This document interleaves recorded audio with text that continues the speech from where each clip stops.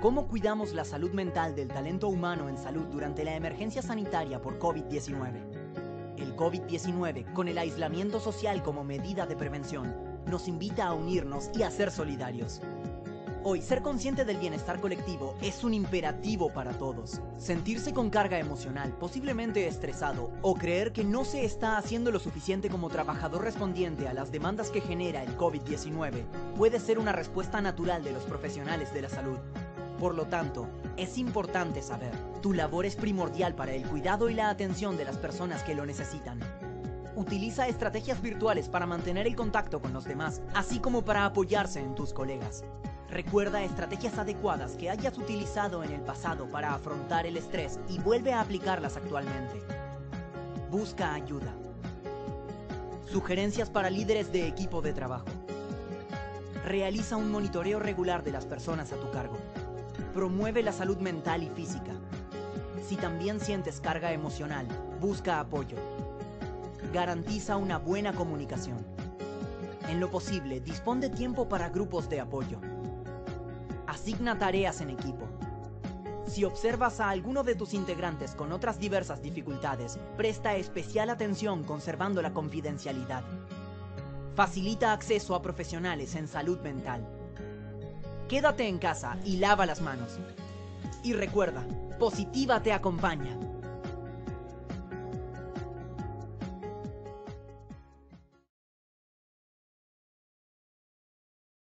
Muy buenos días para todos nuestros asistentes. Soy Lina Garzón y les doy la bienvenida a este importante tema. OAC, obstrucción de la vía aérea. Damos la bienvenida a nuestro experto Diego García, bombero APH, especialista en atención en prevención y atención de emergencias. Diego, muy buenos días, bienvenido. Muy buenos días para ti, para todos los presentes. Eh, nada, con una mañana fría, pero muy dispuesto a, a un entrenamiento muy, muy enriquecedor para todos. Claro que sí, Diego. Te dejo entonces para que demos inicio, por favor. Claro que sí. Bueno, mm, bueno, buenos días para todos. Eh, la idea de hoy es que vamos a trabajar dos temas súper importantes, que es el OASE, que es la obstrucción de la vía aérea, o cuando una persona, eh, hablándolo en palabras sencillas, eh, se atraganta, se, se obstruye su vía como tal, puede ser por comida, por fluidos, por vómito, por cualquiera de estas situaciones, y tenemos una dificultad respiratoria severa y qué tenemos y qué podemos hacer para desobstruir. Esta es de las situaciones en que hemos hablado, en que hay cosas que los brigadistas o una primera respuesta puede hacer y otras que no. Esta es de las que puede hacer y debe hacer en los primeros minutos de, de, de la activación, del suceso. Porque si obviamente vamos a llamar ayuda, pero la ayuda no va a llegar muy seguramente en menos de dos o tres minutos y esos tres minutos son muy, muy importantes. Es lo que vamos a aprender a hacer durante los primeros tres minutos. Esta es la presentación, pues dándole de nuevo eh, las gracias y, y, de verdad compartiendo con, con Positiva este, este espacio y esta travesía 2021 donde hemos aprendido y hemos compartido mucho, mucho conocimiento y muchas cosas positivas. Entonces, pues bueno, aquí vamos. Eh, Lina, ¿me ayudarías con la evaluación, por favor? Claro que sí, Diego. Bueno, vamos a realizar el sondeo. Recuerden que en sus pantallas van a observar las preguntas y tienen la opción de seleccionar la respuesta correcta. Muy atentos, vamos con la primera pregunta.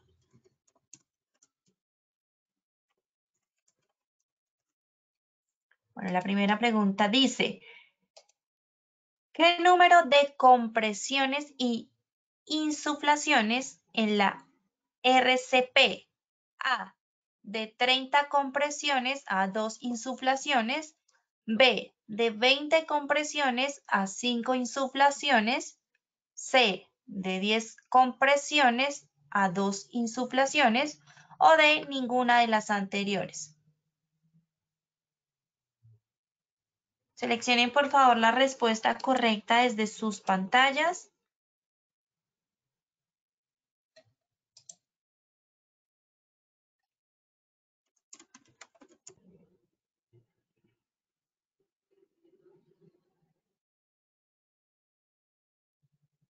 Bueno, muy bien, vamos a ver los resultados de esta primera pregunta.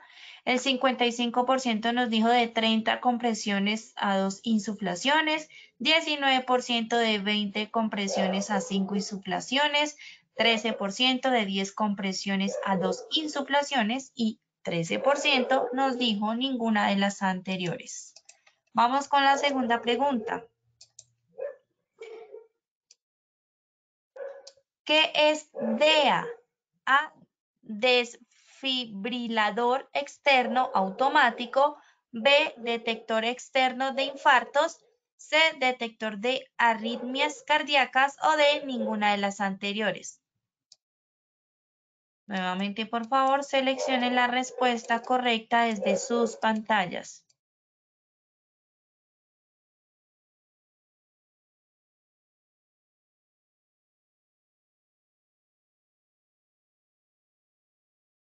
Bueno, muy bien, vamos a ver los resultados.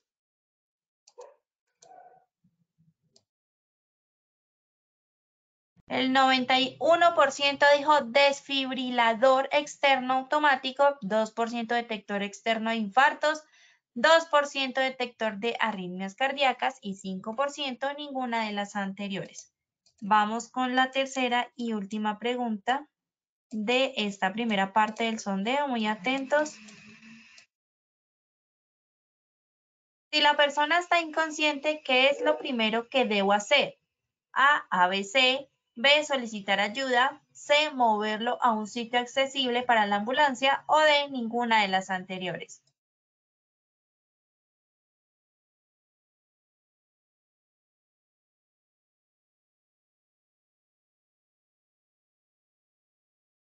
Igual recuerden que al finalizar tendremos estas mismas tres preguntas y Diego nos va a brindar las respuestas correctas, así que muy atentos al tema del día de hoy.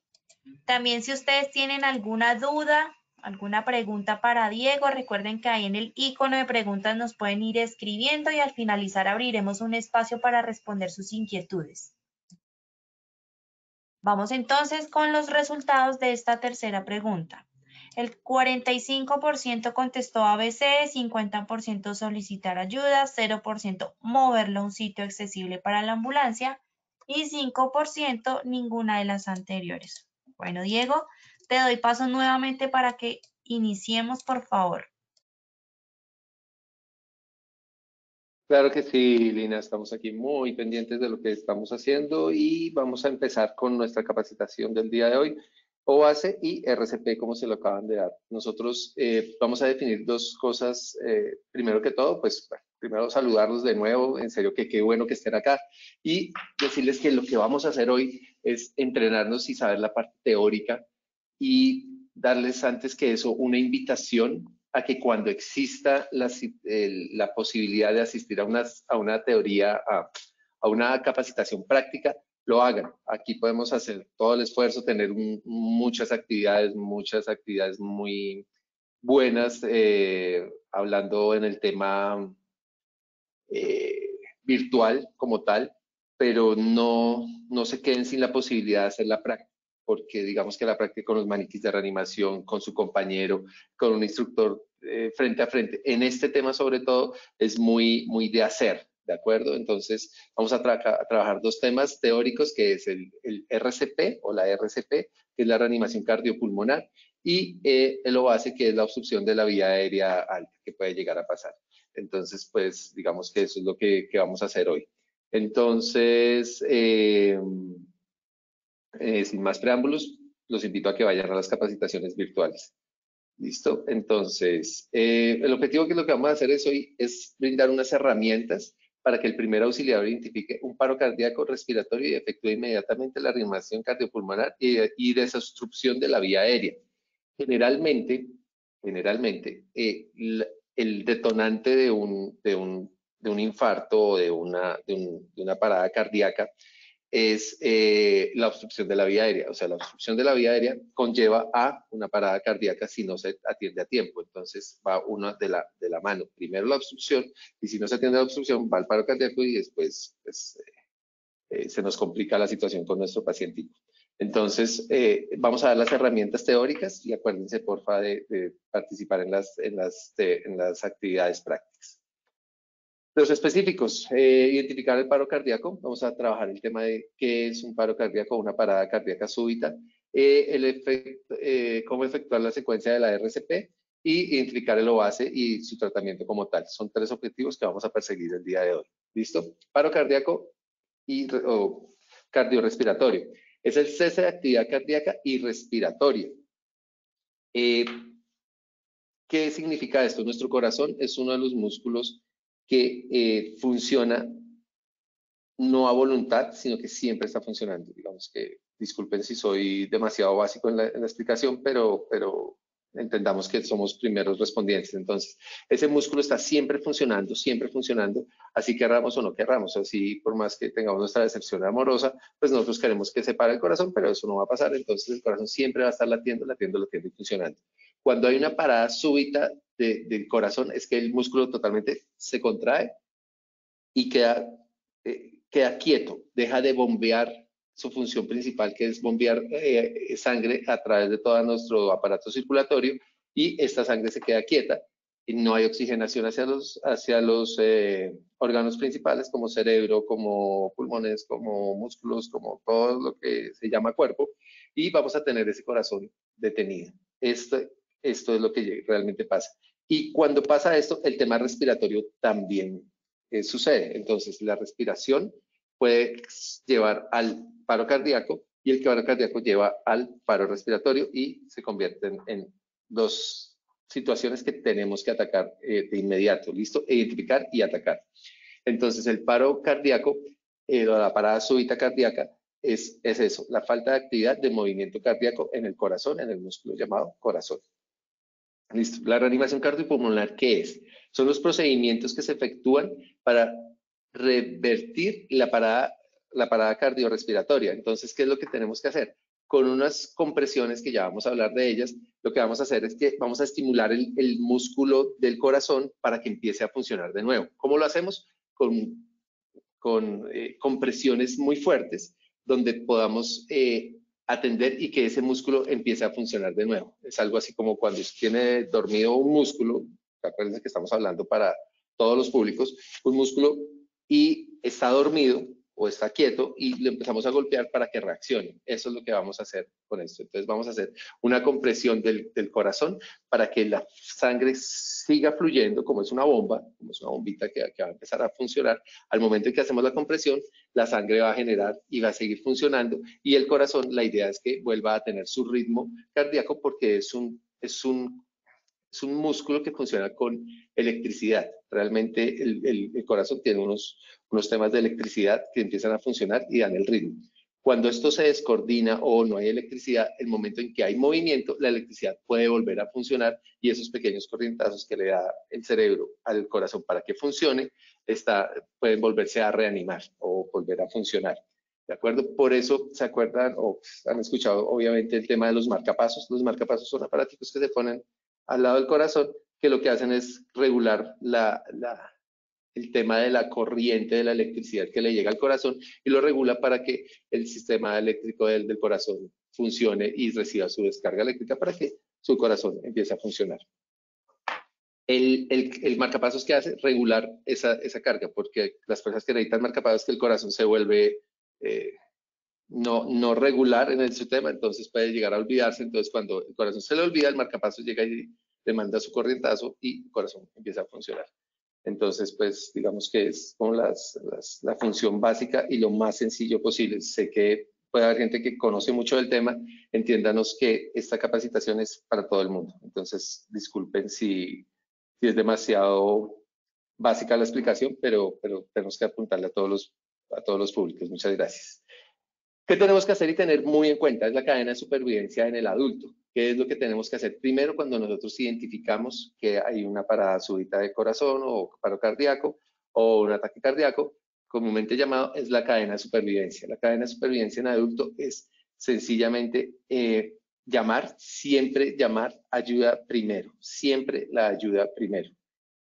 Llego y llamo, eh, señor de la empresa, señor vigilante, señor eh, el 123, eh, su número de emergencia local o existe en la empresa que llegue la ayuda y empezar a que le llegue la ayuda antes de, iniciar la situación, la, atención como tal. Después de esto es hacer las compresiones torácicas, que es comprimir de 10 a 15 centímetros el, tórax de la persona, poniendo una mano encima de la otra, con los, con los codos rectos, y empezarlo, ya lo vamos a ver en una, en una gráfica, donde las manos va una encima de la otra y van a hacer eh, la compresión.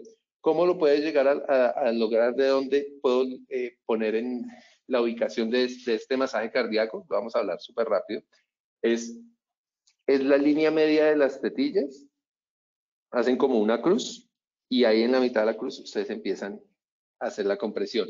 Dejan caer su cuerpo, su peso de su cuerpo, para que la compresión efectiva esté entre 10 y 15 centímetros que puede llegar a pasar de la compresión de una persona. ¿Listo? Eso es una compresión torácica y eh, es una compresión que no teman en hacerlo porque ustedes dirán que 10 centímetros o 15 centímetros es mucho, pero es lo que puede llegar a funcionar.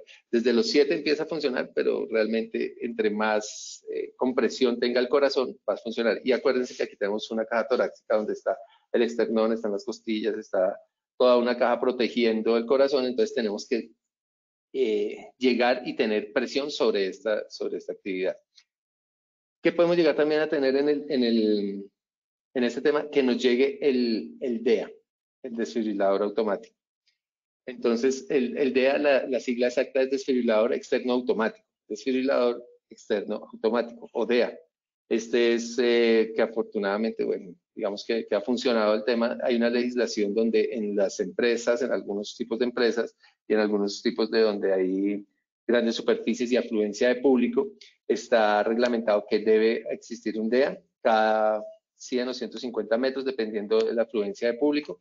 Y estos DEAs son automáticos.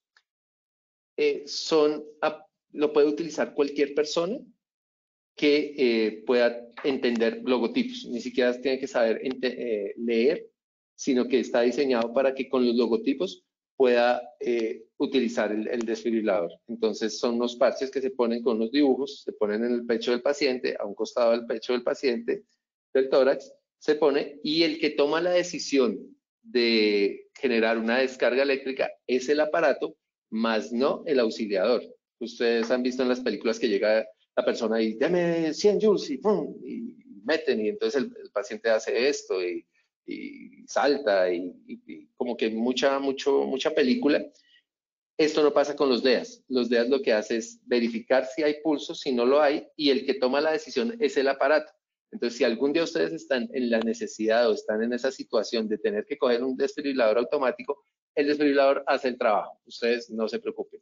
No se van a meter en un problema por hacerlo. Están para esa situación. Ustedes destapan los parches, los parches se pegan en el pecho. Quien le habla en español, los DEAs que, que están en el país, hablan en el español y le dicen exactamente lo que tienen que hacer. ¿Qué características tenemos que tener en cuenta para la utilización del DEA? Que primero el, pecho del paciente esté seco, y si no está seco, entonces pasarle una toallita, eh, sobre, eh, quitar la ropa y que los parches tengan la mayor cantidad de contacto sobre la piel y eh, el aparato hace el resto. El aparato hace el análisis de si está con pulso, si no está con pulso, si, hay, si existe pulso y ustedes del susto no lo sintieron, pero el, aparato sí lo siente, entonces él es el que toma la decisión de desfibrilar o no desfibrilar o generar la, descarga eléctrica. Entonces, en la cadena de supervivencia, vamos a ir con la utilización del DEA. ¿Qué, qué, sí quiero dejar claro? Es que la utilización del DEA no quita el masaje cardíaco, ¿ok? Si ustedes llegan y, y ponen el DEA, el DEA hace la descarga, después ustedes siguen haciendo el masaje. El masaje y el aparato les va a decir verificando. Cuando vuelva a verificar, si el paciente tiene pulso, no vuelve a descargar. Si el paciente tiene pulso, descarga. Obviamente, si lo que se ve en las películas que no debo tocar al paciente es totalmente cierto y claro. Despejan el paciente, dice despejar y el, aparato toma la decisión y vuelve a hacer una descarga. Y en, dentro de la cadena de, supervivencia también tenemos el tema de la ambulancia. La ambulancia debe estar en un sitio, tenemos que tener garantizado que la persona pueda salir rápido hacia el sitio de la ambulancia, que la ambulancia llegue rápido. Esos sí son momentos indispensables para que llegue la ayuda con más, con más equipo y con más eh, posibilidades de trasladar rápido. Y la final de la cadena de supervivencia del adulto es llegar a un centro asistencial eh, adecuado para que haga la, la, atención final del paciente. ¿Listo? ¿Cómo vamos a verificar si una persona tiene o no una parada súbita cardíaca? Entonces, eh, hay algo que se llama el MES, que es lo que está en la gráfica, que es miro, escucho y siento. ¿Qué es lo que está mirando? El tórax del paciente. ¿Qué es lo que está escuchando? La respiración, los silbidos, todo lo que está haciendo, como cuando ustedes están roncando al lado de su pareja y están ahí al lado y su pareja hace esa sibilancia, esas, esas, esos silbiditos, ese tema es lo que yo voy a estar buscando cuando escucho. Entonces, acuérdense la sigla, MES. Miro, escucho y siento. ¿Qué más siento? Que cuando yo toco, estoy sintiendo la persona está con su oración fría, si está caliente, si está frío, si, si tiene algún alguna, eh, aliento alcohólico o aliento a alguna sustancia psicoactiva.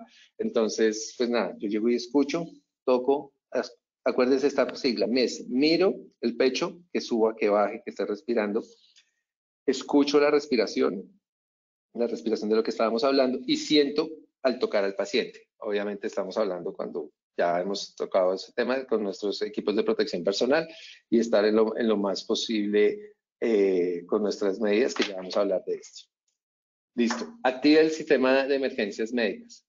El 123, en el caso de casi todo Colombia, o por no decir que todo Colombia, con el 123 nos vamos a comunicar con el sistema de emergencias. No se quede con la llamada, trate de delegar si usted no está en capacidad de atender al paciente, no se quede con la llamada, delegue la situación y siga atendiendo a su paciente. Pero el 123 es indispensable, no se quede solo. No se queden solos porque sufre el tema del túnel donde uno solo se dedica al paciente y se le olvida llamar la ayuda y la ayuda no viene en camino y si ustedes no la llaman, pues eh, obviamente la ayuda nunca va a llegar. Entonces, el tema del 1, 2, 3 es muy importante. Entonces, un repaso rápido, un, tema rápido. Entonces, cadena de supervivencia, llamo ayuda, empiezo la RCP o el, el, masaje cardíaco, empezamos con traer el desfibrilador y que él haga el diagnóstico y genere la descarga si es necesario, y el transporte y llevarlo a un centro asistencial definitivo. ¿Cómo lo identifico? El mes, miro, escucho y siento, miro, escucho y siento, miro el pecho del paciente, escucho la respiración del paciente y siento la temperatura, siento sus olores, siento su corporalidad. Eso es sentir al paciente. Entonces miro, escucho y siento el mes para poder identificar. ¿Qué puedo llegar también a tomar ahí? El pulso. ¿Qué puedo llegar a tomar? El pulso, en otras ocasiones tomamos el pulso radial, y en este caso podemos tomar el pulso carotidio, ¿listo? Entonces, al lado, si quieren hagamos el ejercicio, ustedes van a la parte dura de su, de su garganta, de su tráquea, van acá, la parte dura, la manzana de Adán o las mueves, esta parte que es, que es dura, y con los dos dedos, con estos dos dedos, se van hacia uno de los dos lados, hacia este o hacia este, cualquiera de los dos. Y ahí encuentran el pulso de la carotidia. ¿Listo? ¿Por qué buscamos ese pulso y no los otros? Ese pulso es, está, fisiológicamente hablando, el último pulso que se pierde. ¿Listo? Entonces, si ustedes toman el pulso radial, este es el primer pulso que se pierde y este es el último pulso que se pierde. Entonces, ustedes pueden tomar este pulso y no sentirlo, pero el señor sí tiene pulso porque no tiene tanta fuerza su pulso para que usted lo sienta en la muñeca o aquí en el radio, pero sí está llegando sangre al, cerebro. Entonces, el pulso para tomar es el, el, el, carotidio, ¿listo? El radial, si ustedes no lo sienten acá en el radial, listo, entonces se van al humeral. El humeral tampoco lo sienten, se van acá y aquí sí lo pueden sentir. Puede que acá no lo sienten, repito, pero acá siempre lo van a sentir porque es el último pulso que se pierde. Es el pulso carotidio. En el momento en que ustedes identifican que esta persona cae, que está en el suelo, que está eh, que ustedes sospechan que tiene este tema. No me interesa en este momento saber cuántas pulsaciones tiene. No se queden durante el minuto a ver si tiene, si no tiene, si tiene 65, si tiene 64, si tiene 100, si tiene 200. es identificar qué tan rápido está, está muy rápido o está muy lento el pulso, eso es lo que necesitamos saber en este momento, en este momento, es identificar si tiene o no tiene. Lo que necesitamos identificar es si tiene o no tiene. Acuérdense, este es el último pulso que se pierde cuando una persona está muriendo, el último pulso que se va es este. Entonces, es para que lo tengan en cuenta. Entonces, miro, escucho y siento que miro el, el tórax, que siento la corporalidad del paciente y el pulso y que, estoy escuchando la sibilancia y, la respiración. porque estamos buscando ahí? Allá nos metemos en el tema de base, que cuando una persona no se le siente la respiración y entonces usted identifica la, escena y usted ve que la persona estaba con el portacomidas botado, el arroz botado, la carne botada, el hombre con comida por, toda la, la boca, usted dice, este hombre se tragó una carne o cualquier cosa, se atragantó, no pudo pedir ayuda, no se pudo desatragantar y esta persona eh, generó y se, complicó hasta llegar al paro cardíaco. Entonces es identificar qué puede llegar a pasar y pues ya vamos a mirar qué podemos hacer en, la desobstrucción. Llamar al 123 siempre no se queden solos y siempre llamen la ayuda. Secuencia de la RCP. Entonces, cuando ya decidí tomar la eh, seguir con la RCP es que es las compresiones torácicas sobre el, peso, eh, sobre el pecho del paciente, lo que hablamos, de 10 a 15 centímetros que puede llegar a, bajar la compresión del, paciente. Apertura de la vía aérea es hacer esto. Ustedes, esta, esta maniobra es súper difícil, entonces mucho cuidado con eso. Es muy difícil, pilas. Cuando ustedes están inconscientes, el cuello está así, está así, está de lado. Cuando ustedes llegan y cogen y hacen esto, solamente tomando el mentón con estos dos dedos y hacen esto, la vía aérea se desobstruye y la lengua se posiciona. A veces la lengua se va para atrás y obstruye la vía aérea. ¿Cómo la reposiciono? No metiendo el dedo y poniéndolo de nuevo, ni metiendo la mano, nada. Ustedes hacen esto, hacen la mandíbula de esta manera y la, lengua se reposiciona sin necesidad de estar metiendo nada en la boca esa persona puede llegar a tener eso. Entonces, la apertura de la vía aérea.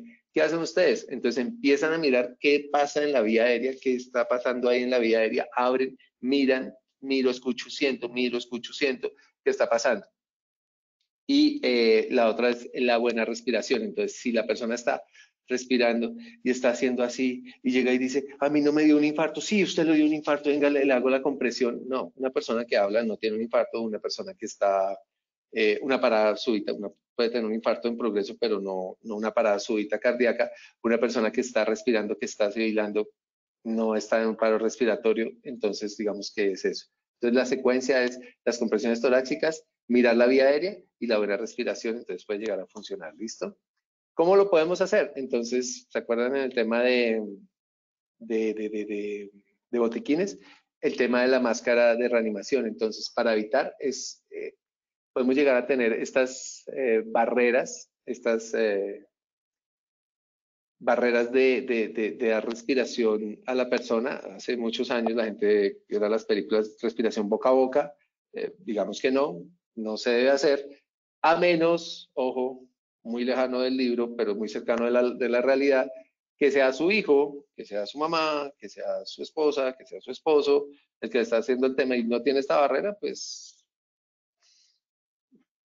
ojalá no, no, no, no lo saquemos de acá, pero, pero ustedes podrían hacerlo. Con un niño podría hacer, con un hijo lo pueden hacer, si ustedes no tienen esto lo pueden hacer, pero con un desconocido, con una persona, con una persona extraña, pues hombre, debemos utilizar eh, la barrera de protección respiratoria, y en este caso la Pocket Mask, que es esta, esta que está en la, en la gráfica, y eh, debemos iniciar en la secuencia que estaban las preguntas del inicio, son 30 compresiones por dos, por dos ventilaciones. Entonces son 30, 30 compresiones, 5 ciclos en un minuto.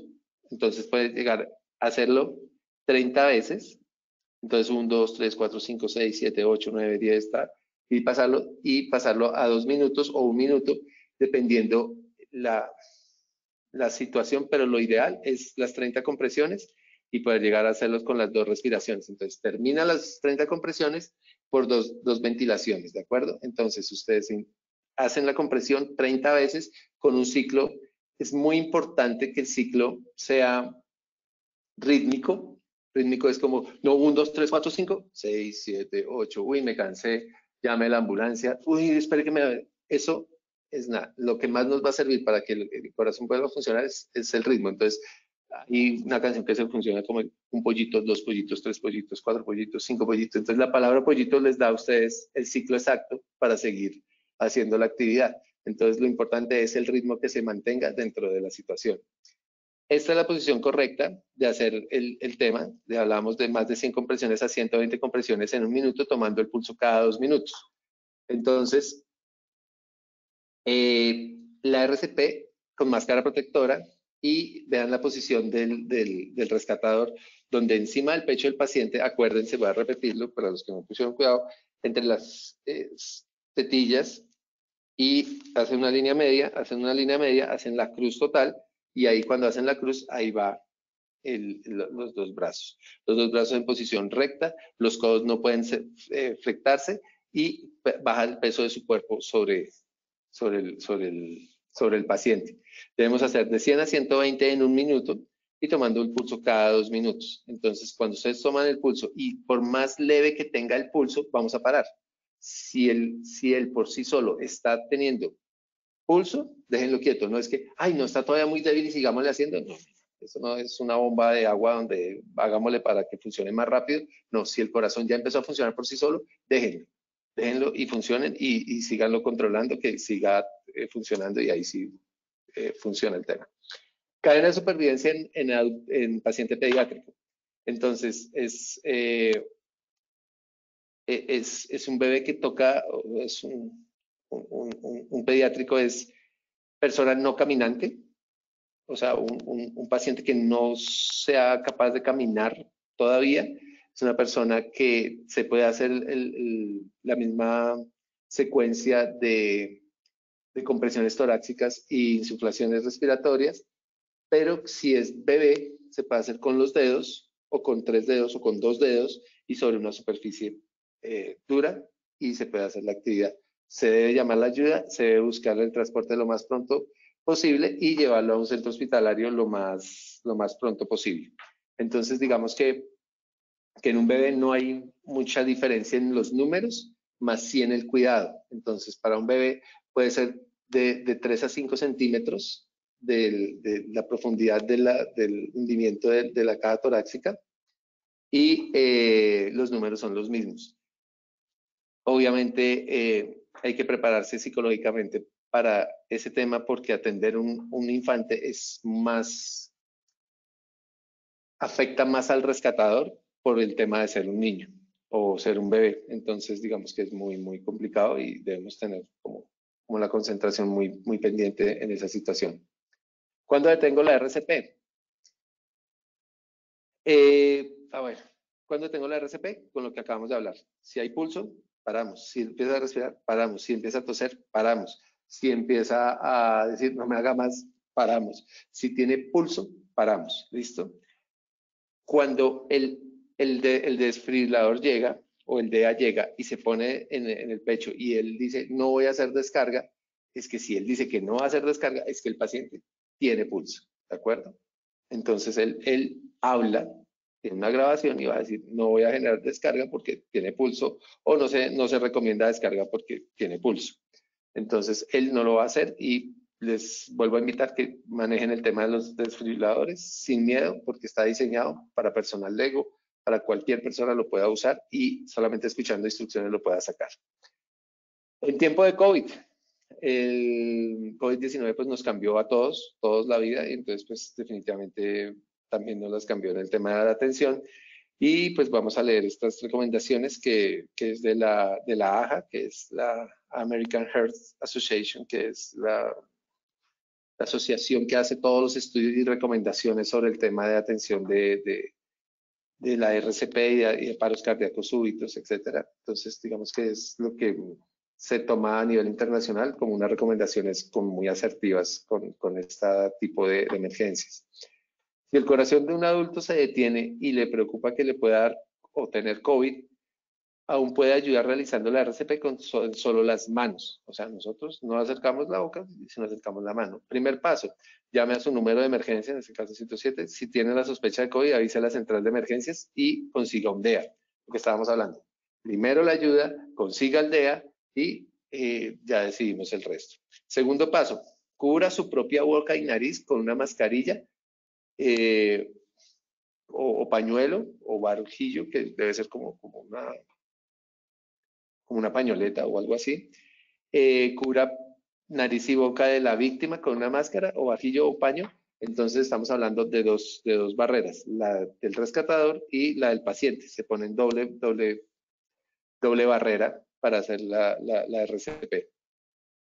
Y aquí eh, tal vez la parte más importante es que usted tenga su barrera de protección y el tema ocular, pues digamos que es lo más importante porque el, aerosol de, que implica la saliva de los pacientes y todo eso, pues nos puede complicar la vida bastantico. Entonces puede llegar a funcionar ese tema. ¿Listo? Eh, tercer paso, realizar la RCP solo con las manos, comprima fuerte, rápido, en el pecho, una velocidad de 100 a 120 compresiones por minuto, ya lo hemos visto, y use, y use el DEA tan pronto como sea posible. Entonces, si vemos aquí es como tenga en cuenta su propia seguridad, su propia mascarilla, su propio proceso de, bioseguridad antes de atender al, paciente. ¿Listo? Entonces, aquí en niños, si el corazón de un niño o un bebé se detiene y le preocupa que le pueda tener COVID, eh, aún puede ayudar, lo mismo que estamos hablando. Primer paso, asegúrese que la escena sea segura, verifique si el niño o el bebé está despierto y respirando normalmente. Segundo paso, solicito la ayuda, eh, llamar al 123 a donde tengan que llamar realizar la RCP 30 compresiones, luego dos ventilaciones si está dispuesto y lo puedes por cinco ciclos y obtenga un DEA. El DEA también debe tener, en, un mundo ideal, parches para personas eh, pediátricas, pediátricas y puede llegar a, tener esos parches y lo único que hay que hacer es cambiarlos en el, en el momento de instalarlos. ¿Listo? Pediátrico se considera persona no caminante. Okay. Tercer paso, proporciona RCP con compresiones y respiraciones si está dispuesto a darlas y es capaz. Aquí es un punto importante y es proporciona RCP con compresiones y, y respiraciones si está dispuesto y capaz. Si ustedes se deciden a meterse con un paciente es hasta el final. No, no hagan cinco y, ay no, ya no me dio miedo y salimos. Pierde tiempo, pierde tiempo el paciente, pierde ritmo, pierden muchas cosas que deben hacer, entonces saber si somos capaces de hacer el tema. Y como les indicaba al principio, la RCP en, en, infantes, entonces con los dos dedos y se generan las compresiones, el mismo número de compresiones, 32, dependiendo de las ventilaciones y, la situación que estemos. OASE. Eh, OASE es la obstrucción de la vía aérea, donde ah, existen dos, dos, eh, dos, eh, dos niveles la leve y la grave. El cuerpo extraño de vías respiratorias con exceso de tos. Entonces la persona que tose y tose y tose y no, y no para, y es que estoy obstruido, no puedo respirar. Créanme que si está diciendo que no puedo respirar, el hombre está perfecto. O sea, si el hombre dice no puedo respirar, está bien. Entonces es generalmente una molestia, una inflamación, eh, que una espina de pescado le rayó por dentro y le inflama un poco, etcétera. Pero si la persona puede hablar, este personaje estamos, está bien está bien, podemos esperar un poquito a que llegue ayuda, no desestimar la tos ni nada, pero si una persona habla, estamos bien. Si la persona no habla, no puede emitir sonido, está tomándose las manos y está en una obstrucción grave, esta persona necesita ayuda ya. ¿Qué es la ayuda ya?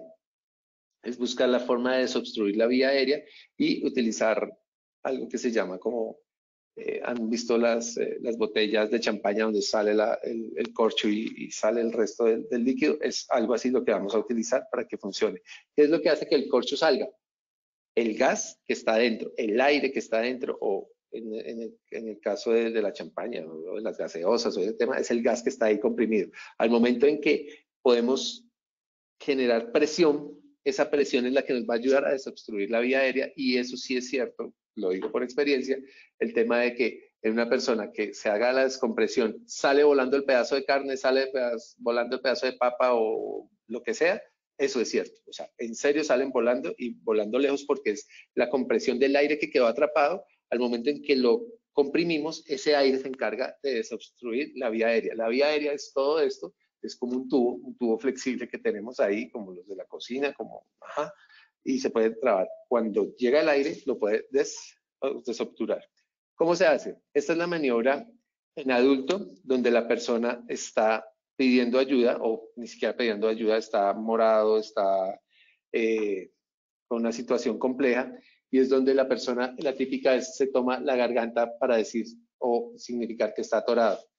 Ustedes sin, sin mediar palabra, en, buena, en buen sentimiento, tienen que reaccionar muy pronto, es tomar a esa persona y cerrar la mano derecha o, la, o izquierda si son su, mano diestra o su mano fuerte, la van a cerrar el puño y van a cerrar el puño y van a ubicar el puño debajo de la boca del estómago o de la, del, del externón, de la punta del externón, y van a hacer el movimiento hacia adentro, poniendo su pecho contra la espalda de la persona para que la, persona no, usted no la empuje, sino que haga una sola presión y con la otra mano va a abrazar el puño. El puño va hacia adentro, abraza y con un, un fuerte ejercicio hacia arriba, es que no sé cómo explicarlo, como como haciendo como una U, hace esto y con su pecho obliga a que la persona haga esto. Al momento en que usted agacha a la persona, la persona por reflejo trata de mantenerse abierto. Al momento en que de, mantenerse recto, hace esto. Entonces genera que la vía aérea quede recta y pueda salir. Entonces es muy importante empujarlo un poquito para adelante para que la persona por reflejo haga esta situación, se ponga recto y haga la, la actividad. Entonces, con un movimiento muy fuerte hacia adentro, estamos poniendo el aire que está atrapado en el estómago y ese aire atrapado es lo que nos va a ayudar a sacar el tema. Al momento en que usted agacha a la persona, la persona hace por reflejo esta, esta posición y lo hace porque si está así y está acá, por más que usted le haga, el, el, aire no va a pasar porque anatómicamente no está funcionando. ¿De acuerdo? Por eso les dije que esto, esta charla era mejor en, en vivo. Eh, les cuento que, van a existir varios, varias jornadas de capacitación en, eh, en vivo, entonces para que estén muy pendientes de las noticias. Maniobra de desatragantamiento en, en niños. Esto puede llegar a pasar y es un poquito más común porque el niño juega con la goma, con la canica, con el tema, entonces puede llegar a generar esta obstrucción de la vía aérea. Entonces, el niño caminante, como está en la gráfica en la parte de abajo, se hace el mismo ejercicio, lo que estamos viendo con las dos manos, el puño cerrado hacia adentro y generar y buscar sacar ese aire hacia arriba. Y en bebés se pone sobre la rodilla, se agacha y golpean de una manera eh, no, no directa, sino como golpeado de lado, de lado y con la persona, con el bebé hacia abajo. ¿Qué es lo que pasa en la, en la tercera gráfica de izquierda a derecha? el bebé al momento que ustedes lo agachan, él también tiene el reflejo de levantar la cabeza. Ustedes ponen un bebé y el bebé inmediatamente alza la cabeza. Él no se queda abajo, sino que trata de subir la cabeza. Al subir la cabeza se genera que esté recta la, la, vía aérea y eh, obviamente teniendo al bebé de los hombros con su otra mano y golpean y golpean hasta que el bebé pueda llegar a sacar. Ay, ay, ay, ay, Entonces, eh, esa es la, situación con ellos.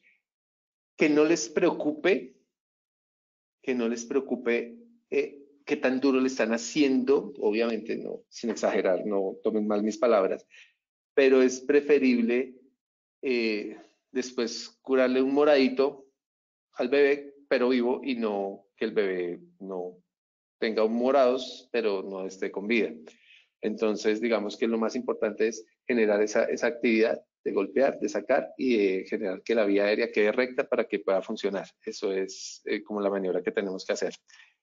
Em, digamos que todas estas actividades, eh, vuelvo y juega, disculpe ser reiterativos, pero, pero espero que vayan a los entrenamientos presenciales y lo practiquen, vean videos, este entrenamiento, sobre todo el de lo base, el desatragantamiento, la, actividad de, desatragantar a una persona, es muy, muy, muy, muy importante y es muy común que pueda pasar en un restaurante con los niños. Entonces es muy importante tenerlo. Véanse un par de videos en internet, eh, busquen el tema, practique con, el hermano que le caiga mal y eh, el, abdomen hacia arriba y, y mire que, si hay una salida de aire. Entonces, háganlo y practíquenlo. Ojalá nunca estén en esa situación, pero si lo están, que tengan la información. Pero, de nuevo, la invitación, vayan a los entrenamientos presenciales. Eh, digamos que la bibliografía, Cruz Colombiana, Asociación La Aja y instructores de línea de vida. Eh, Lina, ¿nos ayudarías con la, con la, el post-test?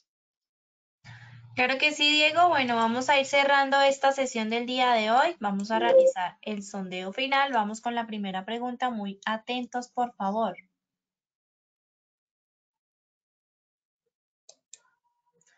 ¿Qué número de compresiones y insuflaciones en la RCP?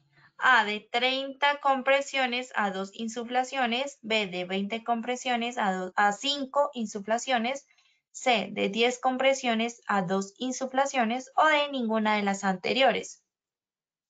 Seleccionen por favor la respuesta correcta desde sus pantallas.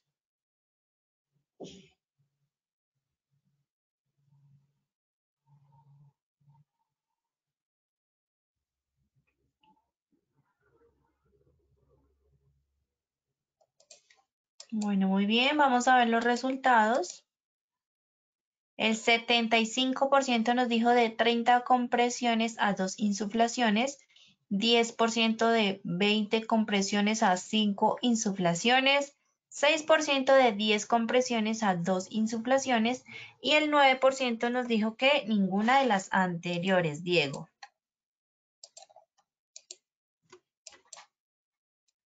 Hola, eh, la respuesta correcta es de 30 a 2, como lo repetimos varias veces, en términos de dos minutos y mínimo cinco, actividades en dos minutos. La respuesta es la A. Muchas gracias. Vamos con la segunda pregunta. ¿Qué es DEA? A. Desfibrilador externo automático. B. Detector externo de infartos. C. Detector de arritmias cardíacas o de ninguna de las anteriores. Seleccionen por favor nuevamente la respuesta correcta.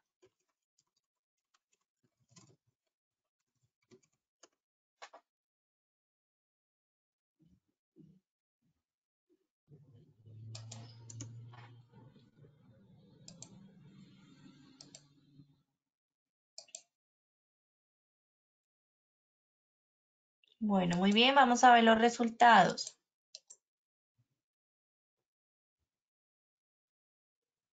El 92% nos dijo de desfibrilador externo automático, 2% detector externo de infartos, 4% detector de arritmias cardíacas y 2% ninguna de las anteriores. Diego, cuéntanos cuál es la respuesta correcta, por favor.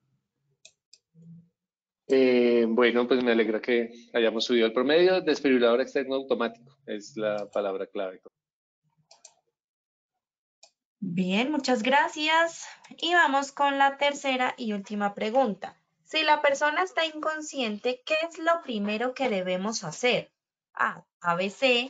B. Solicitar ayuda. C. Moverlo a un sitio accesible para la ambulancia. O D. Ninguna de las anteriores. Seleccionen la respuesta correcta, por favor.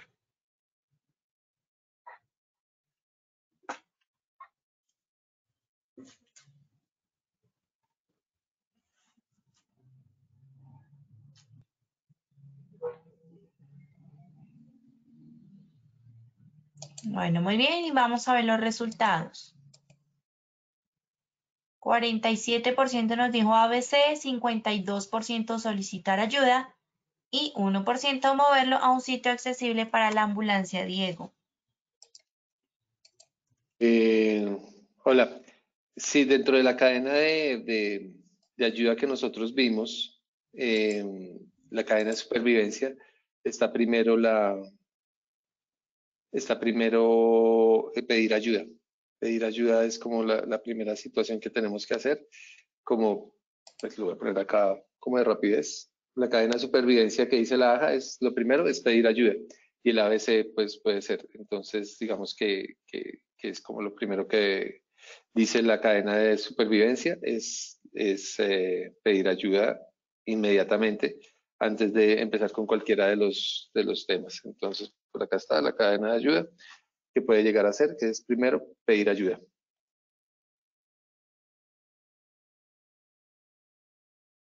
Perfecto, bueno, muy bien, Diego, muchas gracias por habernos acompañado el día de hoy, como siempre con estos temas tan importantes para todos nuestros asistentes y por supuesto a ustedes, muchas gracias por su participación. Diego, nos vemos entonces en una próxima ocasión.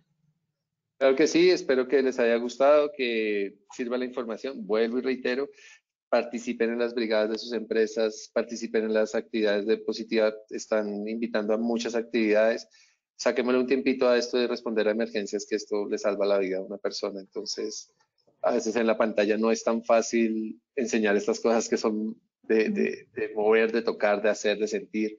Entonces, nada, complementemos con una capacitación presencial y la sacamos del estadio. Muchas gracias a todos. Gracias, Lina, por la invitación. A ti, Diego, muchas gracias. Por supuesto, a todos nuevamente, gracias por su participación. Recuerden visitar Posipedia para que se inscriban y sigan participando de toda nuestra programación. Que tengan una feliz tarde. Nos dejamos con el siguiente video. Positiva Educa.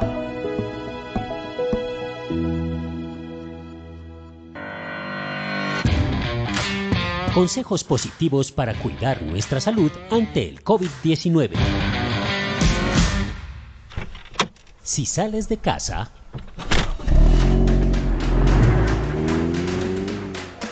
a la lista, arroz, azúcar, granos. A ver, aquí está. ¿Cuánto es? Ah, ok. 10, 20, 30, 40. Tome. Muchas gracias.